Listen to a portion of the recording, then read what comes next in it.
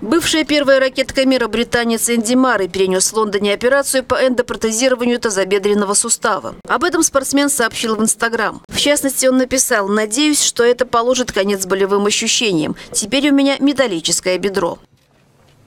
Теннисист получил травму бедра в июле 2017 года, а в январе 2018 ему была сделана первая операция. Большую часть прошлого сезона Марой восстанавливался.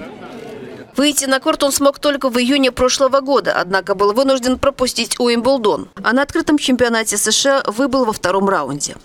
Ранее спортсмен заявил, что нынешний открытый чемпионат Австралии, где он проиграл в первом круге, может стать последним турниром в его карьере из-за травмы.